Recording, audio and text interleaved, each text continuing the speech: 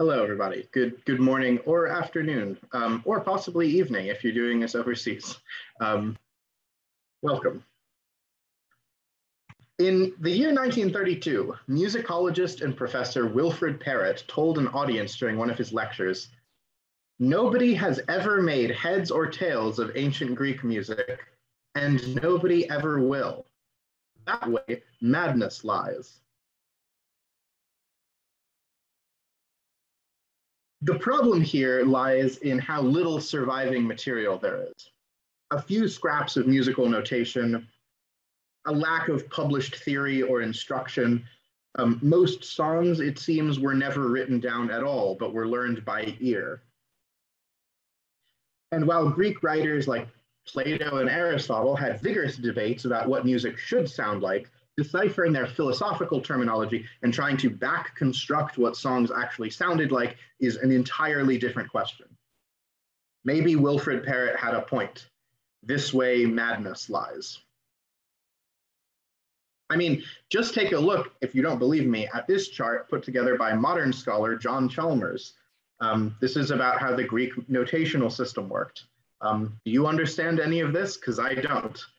Uh, I'm not really sure anyone does. In fact, I think Parrott was right all along. Or uh, how about this one? Anyways, with all of that in mind, I'm going to try to explain what ancient Greek music was actually like and why it mattered so, so much to them. And as an extra, why it might be useful to know for any modern composer, musician, or music fan. So that's what we're going to do. My name is Aidan Gray. I'm a PhD student at Cambridge University over in England. I uh, focus mostly on Greek ritual and religion in the Archaic period, which, as you might expect, was a very noisy place. Um, hymns, musical instruments, dances all feature prominently. Um, and that's kind of how I got into this, kind of via that angle. The first thing I want to look at, for anything else, is the sheer ubiquity of music in ancient Greece. I don't think I'm speaking hyperbolically when I say music was absolutely everywhere in the ancient world. If you want to understand ancient Greece, you can't afford to write off the fact that musicians show up everywhere on vase paintings, in literary epics, histories, and in philosophical tracts. There was no part of Greek life untouched by music, and they have gifted us with so much vocabulary for it, right? Most of the basics and the building blocks um, you know, we think of like Italian as having given us a lot of musical terms, like, you know, for, for tempo markings and things like that.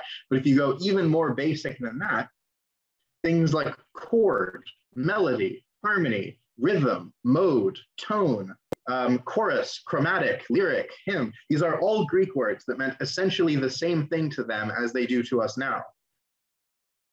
Even the word music right? Comes from the word musike, which I have up here, uh, which means the domain of the muses.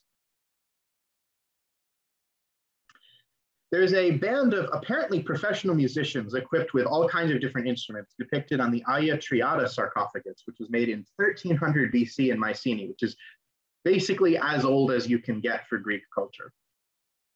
That by itself is not very surprising, right? The ancient Egyptians depict uh, musical performers, usually harpers, um, plucking these you know massive harps in their in their wall paintings. Um, every civilization, at least as far as I'm aware, has music. What the Greeks did, though, and what makes them so fascinating, was that they subjected music to a process of rigorous scientific analysis. They wanted to understand music, to argue about how it should work. The Greeks were the first people to investigate the link between music and mathematics.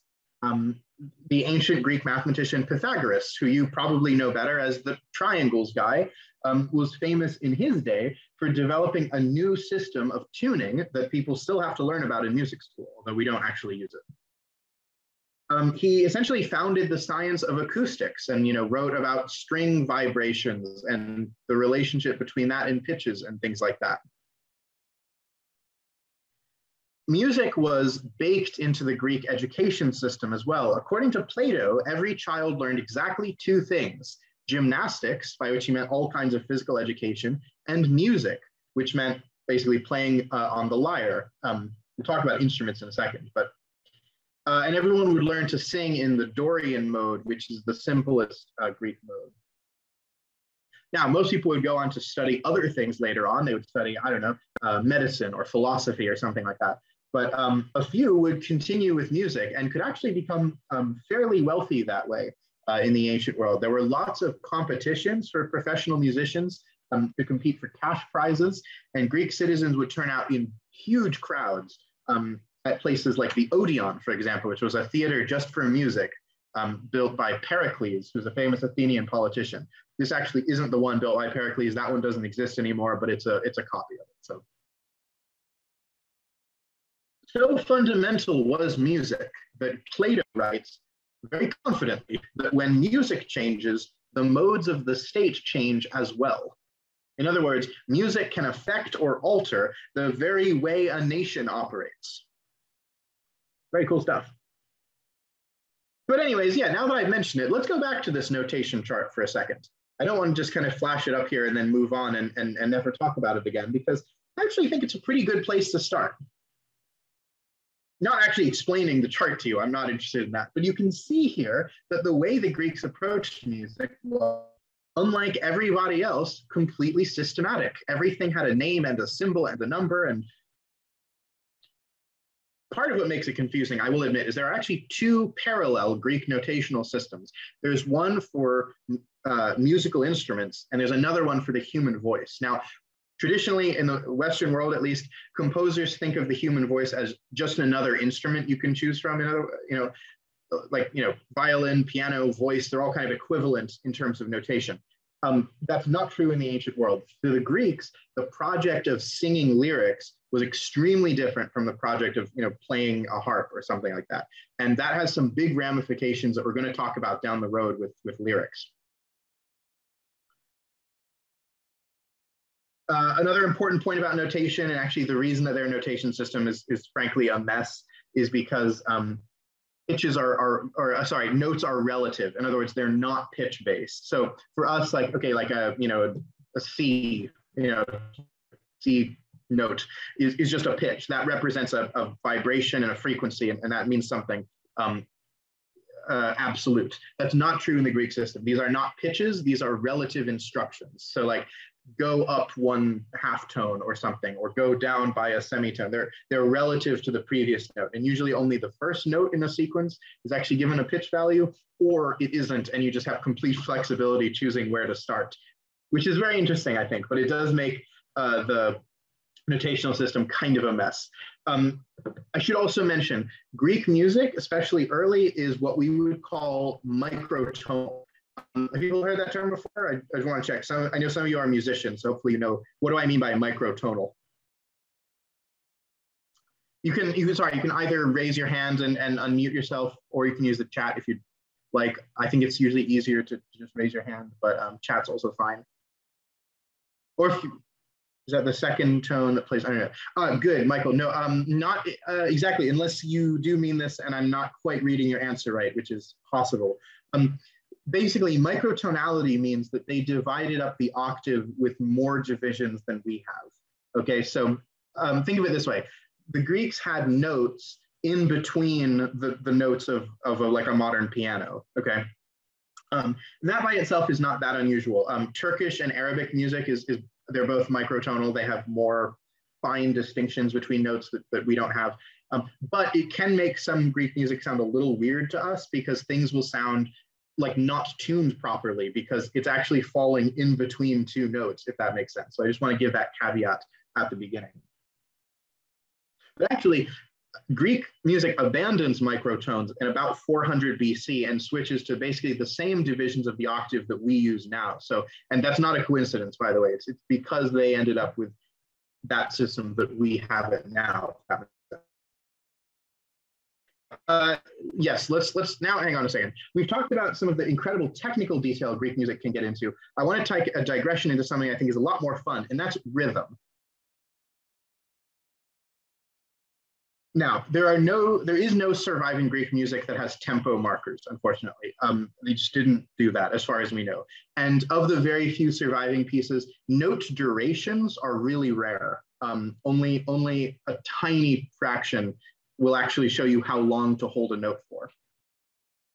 But that fact is because note durations are actually built into the lyrics instead.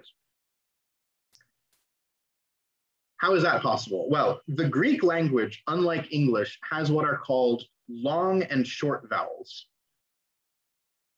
Latin has this too, if you've ever taken Latin. That's why I asked earlier, but uh, it doesn't seem like we have that which is fine. Basically, you can have a vowel that takes the normal amount of time to pronounce, like O, that's just the normal amount of time. Or you can have a vowel that takes twice as long to pronounce, like O. In Greek, these are called omicron, or small o, and omega, or big O, okay? And this is true for most of their vowels. You can either have it normal length or twice as long. What this means in Greek is that by arranging long and short vowels in a specific sequence, you get a natural rhythm to your sentence. One way to think about this, this is not a perfect comparison, but it's, it's pretty good, is to think about iambic pentameter. So if you think back to English class, hopefully you all have taken one of those at some point. Um, English writers like Shakespeare very often write lines in iambic pentameter um, which means they alternate stressed and unstressed syllables, right? So when I do count the clock that tells the day, that kind of thing is a is unstressed stress, unstressed stress. Um, and what this does is it, it kind of gives like a natural rhythm to the sentences. Greek poetry works in a similar way, except they don't really have stress uh, based syllables, but they do have length based syllables. They would be alternating long syllables and short syllables. That makes sense in fact, it's probably easier if I give you an example of this. So let's look at the first seven lines of the Iliad. Um, that's them in, in Greek. It's basically saying, uh, you know, saying about the wrath of Achilles, which sent many Greeks to Hades before their time and left their bodies as the spoils for vultures. Um, for this was fulfilling the will of Zeus. It, it doesn't really matter. What I want you to do is listen to the Greek. And what I'm going to do is I'm going to really exaggerate the long and the short syllables so you can hear the natural rhythm in this poetry. So um, I guess have a listen. Menenaye de thea pele iadio achileos. U lomenen he muriakaios alge feke. Polas difti mustukas aidi proiopsen. hero on oh, autus de heloria teo cecunescem, oio noisi te pasi, dios de tele et obule. Ex hudeta prota dias de tenere sante, atreides te anaxandron cae dios achilleus. Okay, so that's what it sounds like in Greek. Now, hopefully, and again, that, that was not what it would have sounded like. I'm very much exaggerating the long and short syllables so that you can kind of hear how it works. Um, now, one thing you probably noticed there is that Greek poetic forms are not quite as rigid as iambic pentameter is. Um, and English poetic meters, we tend to like it when every line has the exact same rhythm. That, that's a very English language thing. Not the Greeks um, the Greeks, they wanted freedom to do way more variation than that. So like you can replace a long syllable with two short syllables, or you can replace two shorts with a long. Um, and that way you get to vary your lines, which means each one is slightly different. It would be boring, the Greeks thought, if every line had the exact same rhythm. Um, and so being able to kind of mix them up is a sign of a good poet like Homer. Um, and as you can see, none of those seven lines are the same. They all have different um, rhythmic patterns. But hang on a second. I hear you say, I can, I can hear things. Why are you talking about poems? A poem isn't a song, is it? Well, yes, actually they are to the ancient Greeks. We think of poetry as a sort of literary thing that you read in a book, but that's not what poetry meant in the ancient world. All of this stuff was performed. And I don't mean like at a poetry slam, I mean like sung with musical instruments and melody. All poems, yes, every ancient Greek poem was a song. And once you understand that, suddenly I think the world of ancient Greek literature becomes a lot cooler the Odyssey, let's take as an example, um, which one of you mentioned having read recently. I don't remember who, I'm, i could scroll up and find it, but someone read the Odyssey. The Odyssey was 24 separate songs. You probably saw them described as books in your copy, um, but that's not what they're called in Greek. They're called um, rhapsoides, which means, well, a long song. it's 24 songs stacked together about the exploits of Odysseus. It was never intended to be read by, you know, cracking open a book in a library, although of course I do recommend that. The words and the order of the words was chosen for their sound, for the internal rhythm, and to accompany the melodies, which we don't really have anymore. But if you ever come across something where you're like, that seems really strange, just consider the fact that it's possible that it made more sense if you happen to have the original melody. I'm gonna play a quick link here, and I, I really hope I can get the sound to work so you guys can all hear this. But um, some people, of course, uh, have tried to reconstruct what, uh, sorry, the um, what ancient Greek songs would have actually sounded like. So this is the same seven lines I just read to you, right? The Iliad, the first seven lines of the Iliad. I'm going to play, not all of this, don't worry, but this is a, a professor, Stefan Hagel, um, singing them and playing the harp pretty much the way he thinks they would have been reconstructed. I think he's pretty accurate. So again, this I, just want to stress this is not actually some piece of Greek music we have found, but it's a pretty scholarly and I think pretty accurate reconstruction. So um, give a listen and let me know if you can't hear anything and I'll try to like fix Zoom, but um, here you go. menina idete abeleia de Achilleos, ulomenan amuria caiois algeteken, pollas diptimus su casa iti proiapsen, Hieruon autus teloria teucecun essin, oion nois ide taitatios, teteleia topula,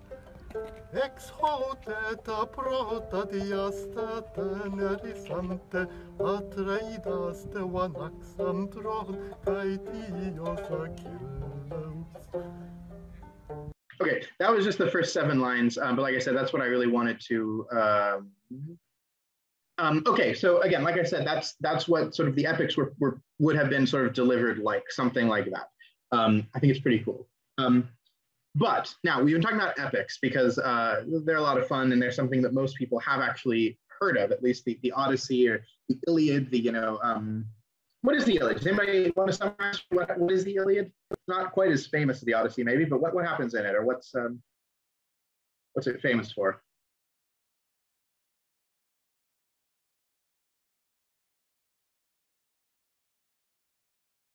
Anybody, or does, does, does no one has no one heard of the Iliad before? Or? That's very fair. unlike the Odyssey, um, there aren't a lot of clues in the name, uh, or at least not unless you know uh, Greek. Um, the, so the Iliad is about Achilles. It's it's the story of Achilles, his his sort of final weeks, uh, you know, uh, battling with Hector, the great Trojan. It's it's the it's one episode from the Trojan War, basically. So if you ever, you know, that's what the Iliad is about. Anyways, these are epics. But what about other genres of Greek poetry? Well, in addition to epics, they actually had this huge genre of poems that are called lyric. Um, it, it's where we get the word lyrics from. Lyric poems in ancient Greece are short, descriptive, they're often love songs. Um, and uh, you can see, I, I, just put a couple here that I think are, are pretty famous. Um, you can see these three.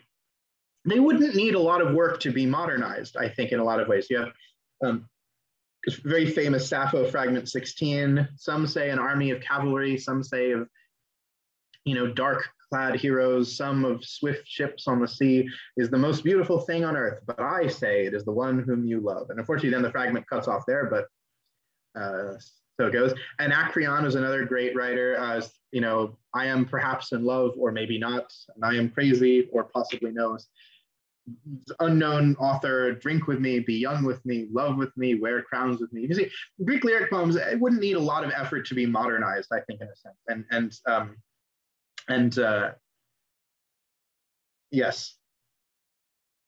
I'm just stressing this now because um, when we think of Greek poetry, we tend to think of the stuff that we often read uh, in classes, which tends to be the epics or the, you know, things like that, odes, you know, things like that. But but there's this entire genre of, of song lyric type poetry that I think is instantly more understandable and recognizable as music lyrics. Um, I think that's quite cool. Now, there's one more feature of the Greek language I do want to talk about very quickly because it has a cool way of interacting with music.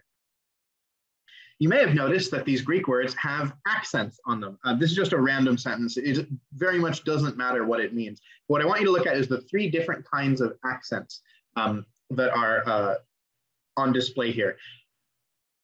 There's the one that goes up, there's the one that goes down, and then there's this one over here in the, in the sort of middle of the sentence that kind of looks like it goes like a like a tilde key on your keyboard. You guys see those three, the three different kinds? Yeah. Um, now, ancient Greek was a tonal language, um, right? Okay, so the same way uh, modern Chinese is, although Chinese has, I think, like eight tones and Greek only had three. Um, so it's slightly simpler. These, these things that I'm calling accents are actually tone indicators.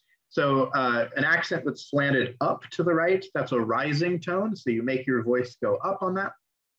Uh, the one that's slanted down, that's a falling tone. So you make your voice go down on that. And then the one that's like kind of a squiggly line that you go up and then down. So it's a fall, it's a rising and then falling tone. Um, this is just to be clear the way everyday spoken Greek works. This is not like uh, just for poetry. This is for normal everyday Greek. But in songs, you now have the choice as a composer to make the melody agree with the natural pitch. So that would mean like having the note go up on a, on a a rising tone and go down on a falling tone. Or you could set them against each other and have the melody do something opposite the natural pitch accent, um, which you know could be really interesting if you're doing something sad or angry or uh, you know otherwise wanting that discordant effect. Interestingly, when Roman writers talk about Greeks learning Latin, sort of native Greek speakers learning Latin, they often sort of poke fun at them for uh, you know, speaking uh, Latin as if they're about to start singing a song. Um, apparently, ancient Greek sounded very sing-songy to sort of um, their their neighbors, and it's it's probably largely because of these pitch accents. Okay, we're doing a lot of technical stuff about you know we've talked about notation, we've talked about the lyrics. Um, let's uh, take a break and talk about something I think is pretty much just fun, and that is the instruments. Um, Greek musical instruments are very cool. Um, and we're going to start with the string class of instruments because they were by far the most popular um, and, and the most frequently depicted in art and things like that. Probably the most famous Greek instrument, like if I, if I really tried to make you name one, I think the one that most people would come up with is the lyre. It comes from the Greek word the lura, uh, which is a small harp that you strum. So just in case you were curious, people get this wrong all the time. You don't pluck a lyre, you strum it like kind of like a guitar, actually. Um, the idea of the lyre dates back to literally ancient Sumer. It's like 4,000 years older than the Greeks. But they really took it and made it into a symbol of poetry and therefore art and literature itself, because all poems were at least accompanied with a lyre. Lyres are small. They have to be, you know, easily handheld in order to be a lyre. Um, and so they're, they're perfect. And they, they have no soundboard, I should mention as well. So they don't have great amplification. Um, so they're really ideal for small rooms or, or just a few people, very kind of intimate settings. You can think of them as like basically the equivalent of acoustic guitars of their day. Anyone had one. Most lyres have four strings, although some of the more higher ranked professionals might have six or seven maybe also a very fun, very cute mythological story about the origins of the lyre, where um, Hermes kills some of Apollo's cattle and is trying to apologize to him. So he, you know, invents this sort of lyre and gives it to him. And Apollo is so happy that he, you know, doesn't punish him because now he can sing his poetry and stuff like that. Just a fun story. But okay, fair enough. Let's say you don't want to play to a small room. You want something more stadium capacity. Okay, that would be something like a kithara, which is actually where we get the word guitar from, kind of coincidentally. See this guy in the top right? That's a reconstruction of a kithara. And you can see a kithara is like a lyre, but they're huge, boxy, and they have a soundboard, which means they can be much, much, much louder. All the ancient sources agree lyres are very easy to play. Everyone would be able to, you know, strum a few basic chords but a kithara needs a professional. That's, that's a much more complicated instrument. they're also strummed and you need a pick for it, which they made out of dried leather. Um, lyres can only accompany singers. They're not really good on their own. They don't sound that nice on their own, but a kithara plays on its own. So you can do instrumental music on a kithara. Kitharas almost always have at least seven strings, um, sometimes more and they have a deep uh, sounding box, which is slightly arched in against itself, held together with wooden ribbing. And the reason I mention that is that's a very sophisticated piece of technology for 500 BC. Um, you know, in, in, the West, a lot of our musical instruments really only developed in sort of the 17th and 18th and even 19th century. Um, but the Greeks had a, a pretty sophisticated piece of, uh, of, of, sound going back to like 500 BC, which is, pretty cool. Um, Apollo is often pictured holding a kithara. This one in the bottom left is a very famous picture of, of um, Apollo with a, with a. There's all kinds of other string instruments as well, though. Those are only the two most popular. Um, one of my favorites is the barbiton, which is this thing, it's drawn in the bottom right-hand corner. The barbiton is kind of like a bass lyre. It has deeper, lower strings. Um, it came from Persia, and the, the name barbiton literally means barbarian thing. So you know, they were happy to adapt stuff from the Persians, but they weren't uh, they weren't always very nice about it. There's the helis, which it has a round sounding board, kind of like a banjo. Uh, there's the epigonion, which is the only one that you pluck rather than strum. That one has like 40 strings, so it's a lot more like a traditional kind of like Irish harp or something like that. Uh, and, and, there's literally like at least 10 other variations. So again, uh, you know, harps were really important to the Greeks. They had almost limitless variety here. I want to show you very quickly this picture um, down in sort of the, the bottom middle of the sort of three women playing um, stringed instruments. I, what I want to point out here is these are three very different kinds of instruments. The woman in the middle has a kithara, you can tell because it has a deep sounding board. The woman on the right is playing a chelys, which again is made out of a rounded tortoise shell. And the woman on the left is playing an epigonion, which has like 40 strings and is more of a traditional harp. So again, you can combine these um, different instruments in, in unique ways, which I think is very cool and uh, worth, worth mentioning. You got to have some percussion too, um, and uh, the, the, Greeks certainly did that. Um, in addition to regular drums, which they called tympanum, it's the origin of uh, the modern word timpani. Uh, you also have tambourines are very popular, which is basically just a, a drum with, with bells on the edges, right? There's also a special religious group called the Corybantes, who are known for their kind of ecstatic music, um, which is usually described as being, you know, frenzied or frantic or something like that. And the Corybantes have all kinds of special percussion to themselves. For example, something called the rhoptron, which is what this guy over in the left, that's supposed to be the Corybantes there, you know, going on a procession or something. Um, but that's that's a rhoptron in his hands. Um, and what it is is it's a it's a drum that's stuffed with bells on the inside. Um, and so to the ancient Greeks, they thought it sounded kind of like animal noises. It sounds very wild and kind of crazy. Uh, they also had this thing called the crotalum, which is this woman in the bottom right. She's drawn holding them. Um, a crotalum is just a castanet. So it's exactly like Spanish castanets, if you know them. Um, there's sort of a little drum that you clap in your hands while dancing, which is how they use them as well. And then this instrument in the middle, I want to talk about a little bit too. Um, this is called a sistrum. This thing that looks like it has like three lines going through it. What that is basically is a rattle. Um, I think it was like ancient maracas, but these weren't used in music. These were only used in religious rituals. Um, and so you, this is not something you're like playing to sort of keep time with a, you know, a kithara player. This is something that you're sort of rhythmically shaking while doing animal sacrifice or something like that. Um, what I love about them, though, they were actually adapted from Egypt, where they have uh, really kind of an insane name. I'm going to try to say it. I always get this wrong. Okay. The name of this instrument in ancient Egyptian is the Sesheshet. I find that very difficult to say. What that is, you'll notice, is onomatopoeia. That's what it sounds like to shake these maracas. It sounds like, you know, something like that. So I think that's very cool. Naming an instrument automatically. That's that's pretty cool. If you happen to be a big fan of brass fans for whatever reason, uh, you'll be a little bit disappointed to know that the, the Greeks weren't. They had exactly one kind of trumpet and it sounded like death. Uh, it's called the salpinx, and it's this very long bronze tube with a mouthpiece made out of bone. not very complicated. Um, like it is really just a tube. Um, but they could get very long. The longest salpinx we've ever dug up was a meter and a half, which is five feet of bronze tubing.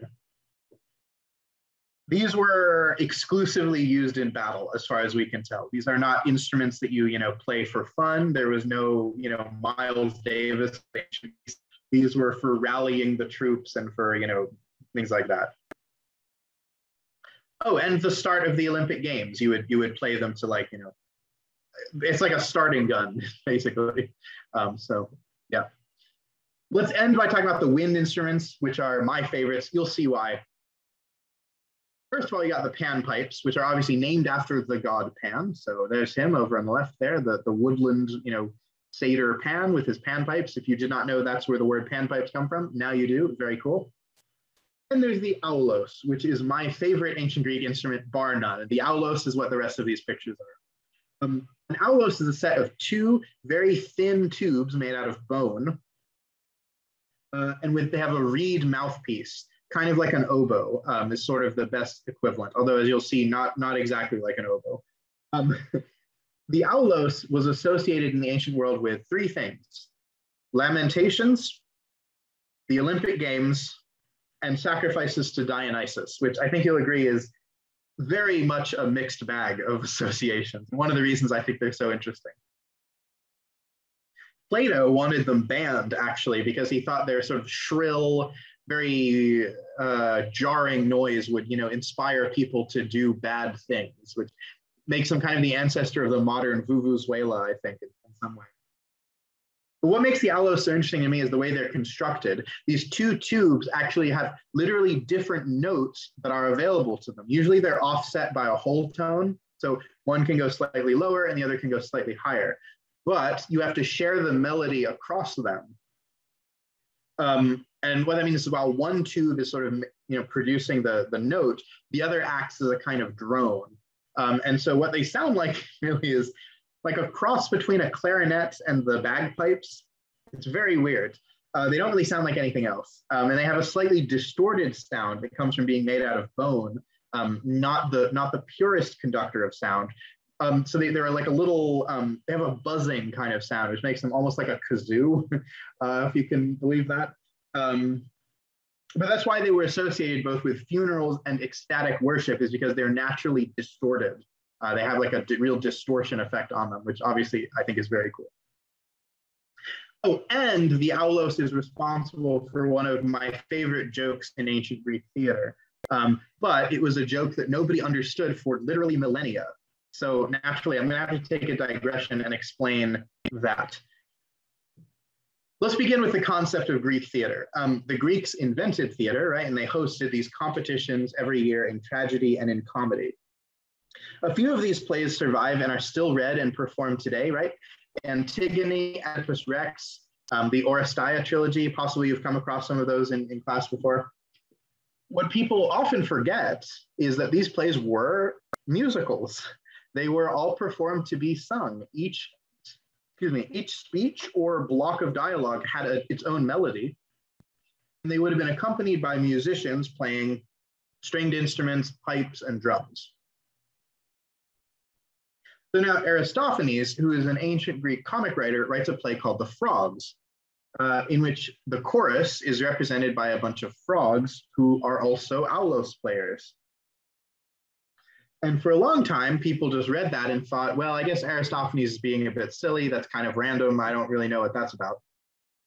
But then recently, when we started reconstructing the aulos and, and you know, making modern versions that people learn to play, it turns out the technique of circular breathing, of, of, you know having these things that you need to play, it does kind of make you look like a frog. You can see you really have to kind of get your cheeks puffed out in order to play them. And that's the whole joke of this play, the frogs. That's that's the joke. Um, that's it. Uh, the Frog is an interesting play, actually, because the plot of it, if you've ever read it, is basically a poetry contest in Hades between the two greatest Greek playwrights of the time, Aeschylus and Euripides. And the debate between them, some of it touches on their actual writing, like their, you know, word choice and their their ability to develop characters, their moral lessons that you learn from the plays. But the debate also touches on the actual music that their plays were set to, um, which suggests that ancient poets and playwrights were probably both composer and lyricist, or librettist, I suppose. Um, so this debate is literally as old as recorded music itself. Aeschylus gets criticized for being very wooden and unemotional, just having kind of lots of repeated lines, being sort of technically good, but not having a lot of feeling. Whereas Euripides, in turn, is criticized for having this kind of wild, emotional approach, and every line is in a different style, and it's it's all kind of excessive. Um, I, am telling you, there is no debate in ancient Greek music that you cannot find slightly modified in a 21st century YouTube comment section. All of these debates are still ongoing in some way. Um, Plato has a big thing in Book Two of the Republic about whether immoral lyrics contribute to bad behavior. Again, that's something people are still very worried about. Um, there's argue, arguments about technical ability versus emotion, about old versus new music. People have, you know, their favorite and least favorite performers. It's all um, intensely relatable, I think. Oh, and I would be remiss if I didn't mention probably the most technically advanced Greek instrument, although it wasn't one that was used very often, if at all. Um, and that is the instrument called the hydraulis, which is actually an ancestor of the modern church organ, believe it or not. Um, but uh, like I said, it has some problems. Let me explain it. The hydraulis was invented by the barber and physicist Ctesibius, which is already quite a fun job description. Uh, he became the first head of the first ever museum in Alexandria, which is also very cool. So he was the first museum guy. Ctesibius also wrote a treatise on pneumatics, um, arguing that you could use compressed air in tubes to do all kinds of things. For example, build cannons or send things places. Um, unfortunately, no one picked up on his research for about 2,000 years even, which is very unfortunate. Um, otherwise, we would have had like I don't know, pneumatic tubes in the Middle Ages. That would be that would be cool. But uh, yeah, no one no one listened to Ctesibius. Anyways, one of the things he did with compressed air to prove how powerful it was was he built a musical instrument that was essentially a set of panpipes on top of a wind chest that was then powered by uh, uh, basically hourglass of water. And as you turn the water things over, that forces the air into a tube, which pushes it along the panpipes, and you can manually open or close the ones you want to sound. Is very advanced. It is, however, a little complex. It's a little bit fiddly. You need two people to operate it, and one of them is just flipping uh, bottles of water over and over, which is not very fun. Um, according to the stories, Ctesibius and his wife would alternate. So one of them would play and the other would push the water over and then they'd switch. It's very cute. I like that story. That's, that's good. Uh, the instrument never became standard in the Greek repertory though, because it is kind of a pain for that other person. And uh, it also has only one volume setting, which is extremely loud. People said it was like uncomfortable to be near, so didn't really take off like I said, that is the basis of the technology that would form the modern church organ, only they use a bellows instead of water. So it's less bad, basically. Okay, what I'd like to do in this next part of the class, we've, that's instruments covered. I want to talk about the three surviving examples of, well, the two surviving examples of Greek music and one guy who I think is really interesting um, to kind of give you a cross-century approach to uh, what this music actually was like. Let's start with the singer-songwriter Timotheus of Miletus, the Elvis Presley of the 5th century BC. Now, earlier I mentioned that archaic Greek music was microtonal. There are lots of very fine distinctions between notes, uh, which can be kind of hard to sing. It's also instrumentally very simple. Back then, before Timotheus, you had three string lyres rather than four. So Timotheus comes all along, adds a string to the lyre, which dramatically increases its range. Right now it has four strings instead of three. He also tends to write shorter songs, right? Greek music before him was all about the epics. It was all about Achilles and Odysseus and Hercules and these kind of big military themes. It was all about war. Timotheus is not into that he's he writes um, he has a lot of songs about uh, madness and insanity. Actually, he's very into that, and suffering is another thing he really likes. But the point is, he's really shifting it to be about emotions. These kind of brief songs that are about feeling. Uh, with much more complicated music because he has a fourth string now. But the other thing he does is he starts moving away from microtones into just half and whole step intervals, um, which which makes him a lot easier to sing than, than, than other people at the time. Also, I'll note this, I think it's kind of funny. His Greek is considered very sloppy, like he makes a lot of grammatical errors and has kind of weird um, phrasing for things sometimes, which got him a lot of heat at the fourth century and also now scholars still say, oh, you know, his Greek's not very good. Um, I think it's kind of funny because again, I mean, I think that's still a thing people complain about, you know, song lyrics. But anyways, I want to show you a verse from one of his songs, which I think is, is interesting. And I love the translation this guy did. Armand D'Angour did it. Um, and what he does, he preserves a lot of the rhythm that the original Greek lyrics actually had, right? Which I think is cool. So here it's I don't croon in the old way. My songs are new and better. See the old king, Kronos ousted. Now the young Zeus is the ruler. Get away, old fashioned music. So he's part of this movement. He actually founds this movement that we call in ancient Greece the new music. New music is non microtonal, it has more instrumental stuff going on, um, and it focuses on emotion and feeling rather than the old mythological wars and heroes of the past. So that's the new music. Really uh, important milestone for, for Greek poetry and Greek music. And so I think it's quite funny because I don't think this idea never leaves us, right? Once we've introduced Timotheus of Miletus, now you have, you know, all of modern pop music. That's essentially that. Um, so again, really important guy. No one, no one thinks of him, but like without Timotheus of Miletus, you know, who knows? So kind of an important guy. Unfortunately, none of his melodies survived. So we actually don't know what any of them sounded like, which is a bit of a shame. Um, well, let's move on.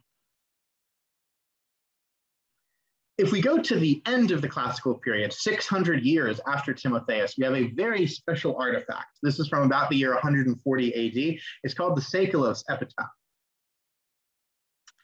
Well, uh, I mentioned earlier that the vast majority of Greek music was never written down is true. We only have a few examples, but this is one of them. This is an example of an entire composition which has both lyrics and music. Um, it probably wouldn't be an exaggeration to say that this one artifact completely revolutionized the field of understanding Greek music. Um, it is the oldest composition that survived in full, like from anywhere in the world, although you'll see the reason why is it's actually very short. It's only like one verse long talk about what, what is going on here. So, all right, this guy called Seikilos, who was a singer, um, sets up a, his tombstone in Ephesus when he dies. And he was, a, as I said, a professional singer and songwriter, and he wanted people to remember him for his hits.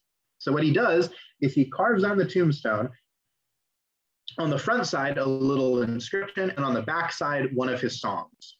And the front side reads, I am a tombstone. That's really what it says in Greek. Seikilos placed me here as a long lasting sign of undying memory.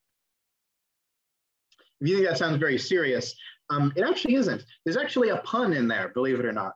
It's the word long lasting, which um, literally means in Greek, much time. And that also was a term musicians used. It was, a, it was a technical term in the field of music that referred to having um, music that had lots of different rhythmic patterns within the lyrics you consider like polyrhythmic, almost like kind of the same idea. Hopefully that gives you some idea into the, the character of Seikilos.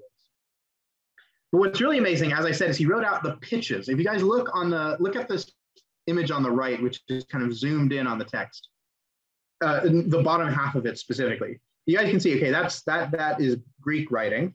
But then above it, do you guys see those little letters with, with weird glyphs above them? Those are pitches and durations. And look, I'll, I'll um, just go to the next slide. Really Let's come back to this in a second. That's what it looks like if you uh, and clear it up from inscription Greek into regular Greek.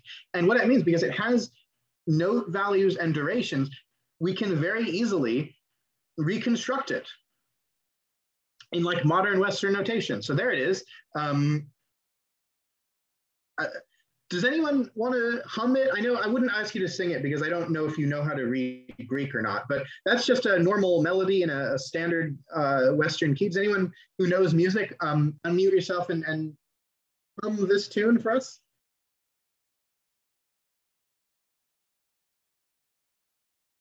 Anybody? I realize it would be very, very brave, but uh, I'm. Nobody?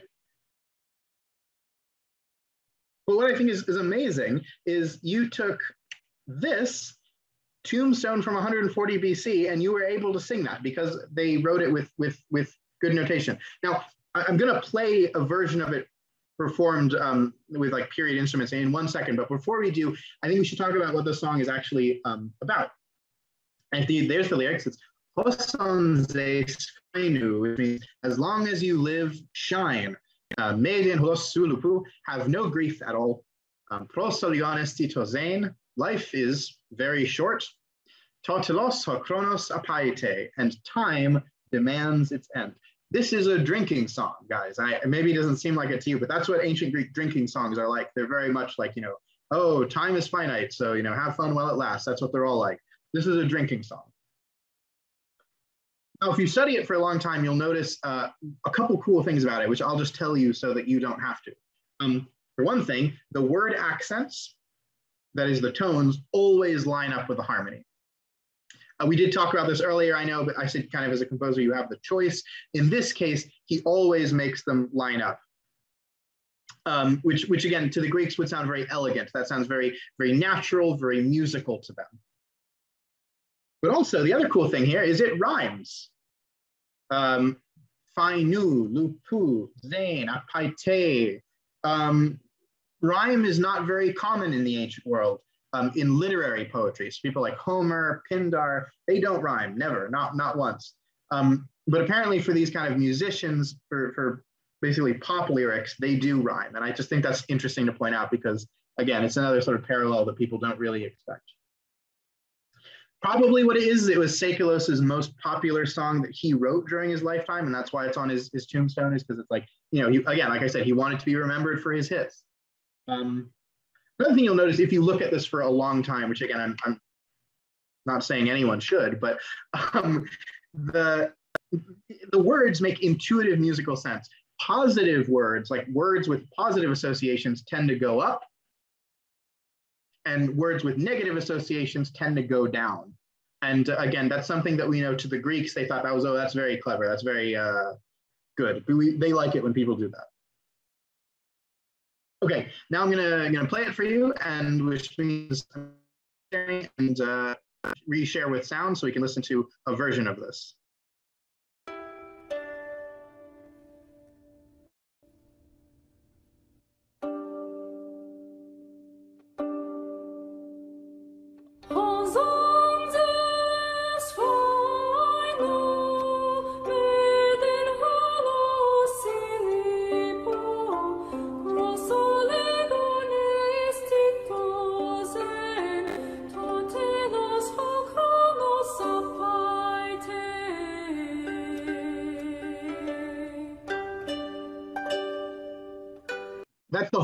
Song as was recorded on the tombstone. I think what they do is they go on and repeat it a couple times to make it more of a real song.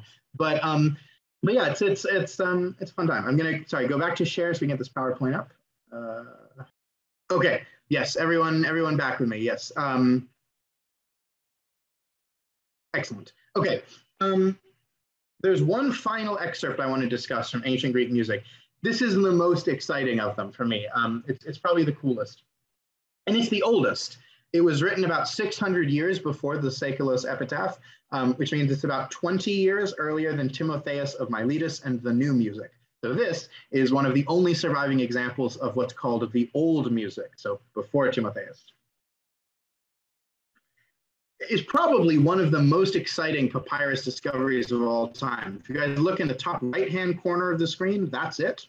Um, doesn't look like much. It's only about two inches square. Um, what it is, is a fragment of a chorus written by the Greek playwright Euripides.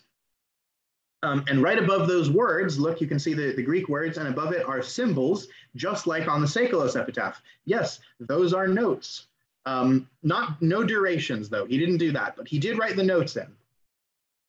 Now, the actual papyrus here was probably written around 250 BC, so, so a little bit later. But again, based on the music, which is slightly microtonal, we think it probably dates back to Euripides himself and the old music. So this is probably a surviving example of Euripides' own melodies. Very exciting. Now, unfortunately, the fragment is only six lines long. Um, it starts with this word katelophorumai, which means it's a little hard to translate. It means something like, you know, I lament utterly or I, I weep thoroughly or something like that. What's going on in the play? So this is this is from the play called Orestes, which you can read if you want to. Um, it doesn't really matter for your enjoyment of the song, but I'll just summarize it. Um, Orestes has just killed his mother in order to avenge his father's death, and now he's being tormented by the Furies, who are these you know agents of, of uh, divine justice. And um, at this point, the chorus is singing a, uh, sort of an interlude about how human flourishing never lasts very long, which if you know anything about the Greeks, that's one of their favorite things to talk about.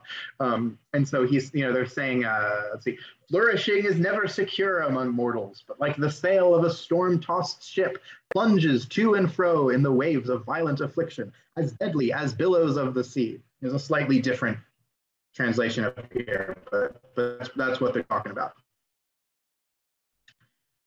Now, as you might predict with those lyrics, um, the rhythm of the poetry is very frenzied. It's not like it's not like the epic one we read earlier that has a lot more stately rhythm. This one is very jarring and, and kind of uh, you know discordant. Um, and uh, what I want to do is I'll, just play. This is a group at Oxford, so they're they're a classics department. I just mentioned this. They're not professional musicians, so don't um, go in expecting that. But they do a pretty good job at playing this, given that it is, as I said, slightly microtonal and a little bit weird. So this is the last um, fragment I'm going to play for you. I'm once again going to stop the share and uh, redo it uh, differently. So everybody just sit tight.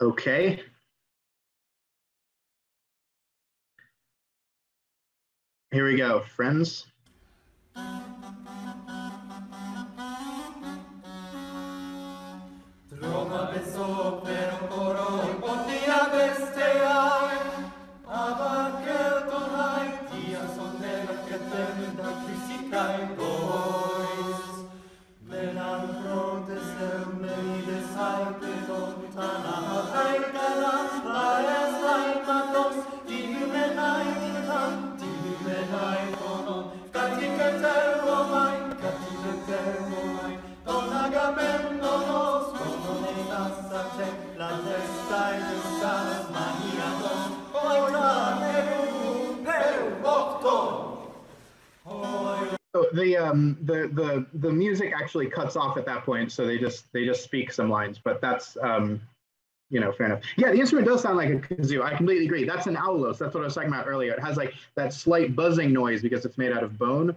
Um, and uh, again, they associate it with lamentation because it sounds a little bit jarring. Um, I think it's very cool. Um, let me get this PowerPoint back up now. Um, and let's talk about the Orestes chorus. Uh, no, that's not what I wanted to do. Sorry, guys, give me give me one second. Share. Uh, okay. Okay, I think we should be good now. To me, that's very cool to listen to. It sounds weird, and that's actually why. Um, it sounds weird if you're expecting modern Western music, at least, but maybe we shouldn't be. Greek plays, if you've ever read them, are very different from our modern conception of theater they do things differently. And having the music gives us kind of some insight into why they're different and, and how they're different. But on the other hand, if you do adjust your expectations a little and you go in with open ears, how different is it really? I mean, I think that melody kind of works. It can get stuck in your head, as it did while I was researching this. Um, and when you compare it to the lyrics, which I have in front of you here, um, there's very little doubt that it like works. I think on a musical level, it's it's it sort of fits the topic. And this question of modern standards keeps coming up. And so I'd like to conclude by talking about is Greek music an ancestor of modern music or not? Basically, did you just waste an hour of your precious finite lives or not? Obviously, I think not, but um, critics are divided. Uh, in the in the okay in the pro camp, you could point out to the fact that all the building blocks of Western music do ultimately come from the Greeks. And I talked about this earlier, at least in theory. The reason we think and talk in terms of scales, modes, tones, tuning, these are all Greek ideas and Greek words. But on the other hand, that's not because Greek music actually spread and influenced anyone. During after the fall of the Western Roman Empire, Greek music was sequestered. Basically, Greece was cut off from the rest of Europe. Um, and uh, the people in the Western Hemisphere kind of developed their own traditions completely independent of anything that was happening in Greece. But when all of the music was lost for millennia, what did survive was the books about the music, um, essays and treatises, mostly by Roman authors, um, explaining how the Greeks had sort of constructed their musical world and how they had approached that. It was on the basis of these books by Latin authors about Greek music that people started to create art music for the first time in the Middle Ages. But the anti camp would argue that again, the music died out. Greece was separated from Western Europe, right? Um, and uh, you know the musicians had an entirely different array of traditions. Well, with one exception, actually, and that is the Western Church. The Western Christian Church um, sang uh, in a way that was very Roman. It was a Roman way of organizing music, what we call Gregorian chant. Um, if you've ever heard that, that's um, that's just Roman music, actually. Now, it's a little bit different from the Euripides chorus that we heard, obviously for a couple of reasons. One, it's late, so it's not microtonal. But two, it, it's deliberately trying to cultivate a, you know, hymn-like, you know, sober, reverent atmosphere, which obviously the Euripides chorus isn't, because that's not what it's trying to do. But my point is that when the Western classical tradition starts again around the year 1600, a big part of that development comes from the Renaissance, which means the rediscovery of Latin and Greek texts. People then, who were just immersed in these documents, knew something that we often forget now, which is that um, the ancient plays had been sung and set to music. And it was in trying their hand at creating their own but you get the birth of opera right? And so there's a reason that for the first 150 years pretty much every opera is mythological almost with no exceptions. And the reason is because they are trying to write their own versions of the ancient greek plays which they knew to be musical. And again opera would, would, would go on to be um, significant for the next 300 years in terms of developing all kinds of popular music uh, and, and, and other schools of music that were sort of popular in Europe and North America. I think that's a good case study in why I think Greek music matters. The, the actual songs were lost, and the vast majority of them still are, but something about Greek music survived. The approach, the ideas, the spirit of Greek music, which has been kind of an enlivening force in Western music really for the last thousand years. Think that's all I got. Um, questions, comments, There's some good stuff in chat. Uh, does anybody else have anything else or, or, want to unmute themselves and, and ask any questions or say anything? And, you know, I just want to thank um, everyone who's been participating in the chat. Thanks everyone for, for pointing out things that they thought were, were interesting or cool. Does anyone have any, any questions about Greek music or, or thoughts about this all?